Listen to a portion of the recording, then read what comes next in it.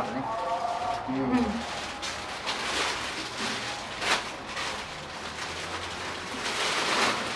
เมกันเลยเดี๋ยวมันไม่หลับเมกันเลยเมกันเลยนะเสือหนูเอ๊ะเสือไหนเด็กเดี๋ยวเสือ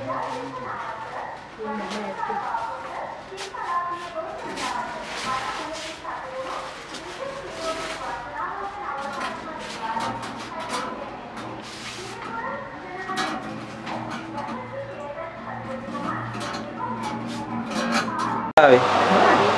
ඒ අපි කියවද ඔන්න ආ අපි දෙයියත්ත වන්දියට ඇවිල්ලා කන්දිද මේ මේ මේ කඩේ මොකද නම මේ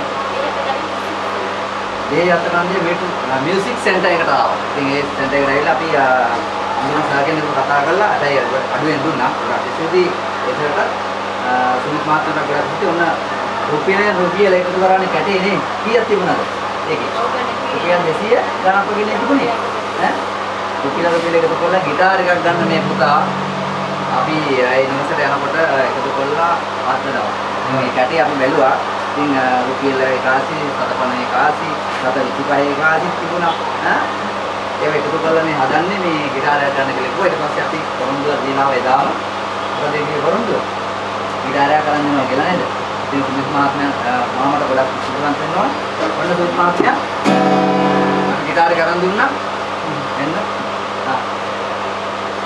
අතුලේ ඈ? අතුලේ සංගීතඥයෙක් වෙන්න ඕන. තේරුණාද? විශාරදවරයෙක් වෙන්න ඕන. ඉගෙනගෙන හරිද?